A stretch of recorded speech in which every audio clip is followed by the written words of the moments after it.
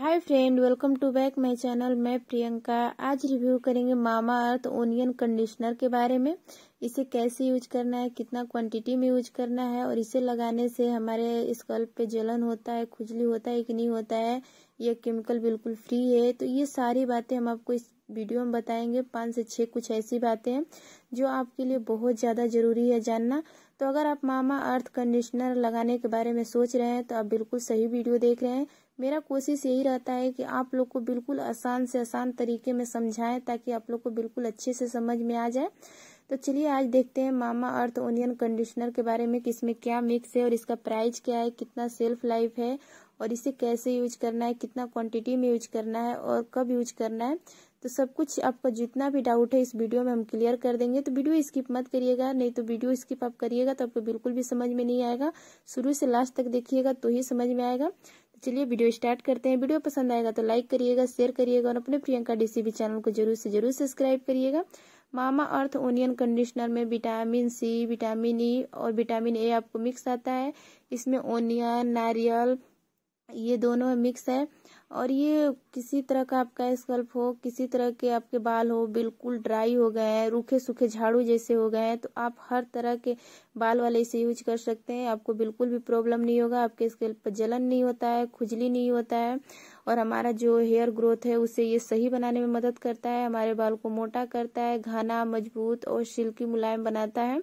और दुमुहे बालों को समस्या को भी ये कम करता है और इसे यूज़ करने का बात कर लें कि इसे कैसे हमें यूज़ करना है तो हम जब मामा अर्थ का शैम्पू है, उसे अच्छे से अपने बालों में लगा के बाल धो लेते हैं, उसके बाद इसे हमें कंडीशनर को थोड़ा सा ले लाएँ क्वांटिटी में ज़्यादा नहीं, बस थोड़ा सा क्वांटिटी में लीजिए और अब दोनों हाथ, हथेलियों के बीच में रब करते हुए अपने जड़ से लेकर रूट तक लगाइए। आपको इससे कोई प्रॉब्लम नहीं है। ऐसा नहीं है कि इसे आपको जड़ में नहीं लगाना है। जड़ में लगाएँगे तो उससे प्रॉब्लम है। कुछ भी नहीं होता है, क्योंकि इसमें ओनियन है और नारियल है। तो ये हमारे जो जड़ के बालों होते हैं, उसे वो मज़बूत बनाने में मदद करता है और हमारे जहाँ बाल नहीं उगते हैं, नया बाल लाने में भी ये मदद करता है। और हमने पहले से अपने चैनल पे ओनियन का शैम्पू और ओनियन का मामा अर्थ का हेयर ऑयल के बारे में वीडियो अपलोड कर रखे हैं। अगर आपने नहीं देखा है तो वहाँ पे जाके देख लीजिए, नहीं तो लिंक आपको डिस्क्रिप्शन में दे देंगे। आई बटन पे भी क्लिक करके आप देख लीजिएगा कि उस सबको आपको कैसे यूज़ करना है, ताकि आप तीनों का लाभ एक साथ उठाएँ। आप अगर ज़्यादा आपका हेयर फॉल हो रहा है, अगर आपके बाल बिल्कुल झड़ना बंद नहीं हो रहे हैं तो आप ये तीनों यूज़ करिएगा तो आपको इसका रिज़ल्ट बहुत ही बेहतर मिलेगा। मामा अर्थ का ओनियन कंडीशनर हेयर ऑयल और शैम्पू और इसका प्राइस का बात कर लें कि इसका प्राइस क्या है तो इसका price four hundred ninety nine rupees है। सेल्फ लाइफ इसका थ्री ईयर्स है। और इसे आप थ्री ईयर्स तक यूज़ कर सकते हैं। इससे आपको कोई प्रॉब्लम नहीं होता है। और इसका क्वांटिटी जो है ढाई सौ एम का है। टू हंड्रेड फिफ्टी है। इस कंडीशनर को लगाने के बाद हमारा बाल जो है बिल्कुल मुलायम, सिल्की, घना दिखने लगता है। हमारे बालों में एक अलग तरह का चमक दिखता है। हम अगर अपने बालों में उंगलियाँ फेरते हैं तो वो बिल्कुल सॉफ्ट सॉफ्ट नज़र आता है।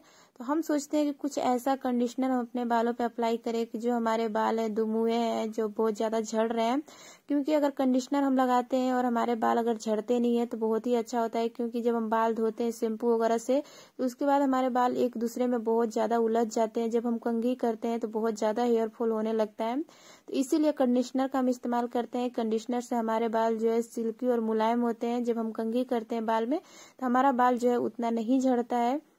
और आप इसे यूज़ करिएगा, आपको इसका कैसा बेनिफिट मिला, मुझे नीचे कमेंट में ज़रूर बताइएगा।